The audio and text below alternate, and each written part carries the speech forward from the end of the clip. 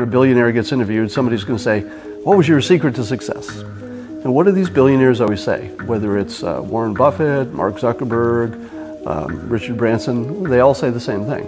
They say passion. Follow your passion. That's, that's what makes everything work.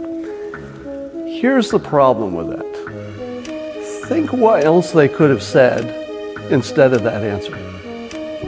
Could they say, well, I'm a billionaire because I'm smarter than poor people? Right. Can't say that, even if it's true. Right. Because in those, at least two of those guys, that might be true, right? You know, Bu- Buffett and Zuckerberg are way smarter than ordinary people. Yeah.